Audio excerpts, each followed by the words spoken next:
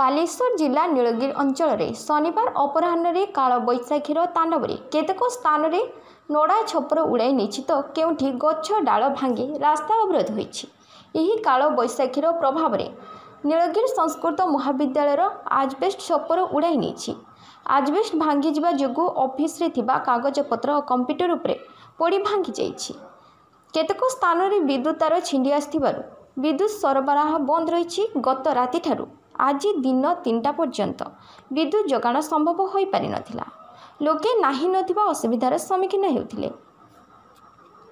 ନୀଳଗିରିରୁ ସଚିଦାନନ୍ଦ ପାତ୍ରଙ୍କ ରିପୋର୍ଟ ଓଡି ନ୍ୟୁଜ୍। ଓଡ଼ିଶାର ଗର୍ବ ଓଡ଼ିଶାର ଗାରିମାକୁ ନେଇ ଆମେ ଗର୍ବ କରୁ। ଠିକ୍ ସେମିତି ନିର୍ଭୀକ ସମ୍ବାଦ ପରିବେଷଣ କରିବା ଆମ ଓଡି ନ୍ୟୁଜ୍ର ଧର୍ମ।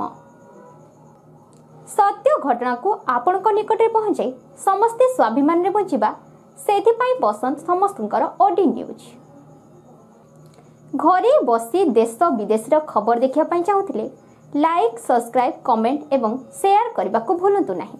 ନମସ୍କାର।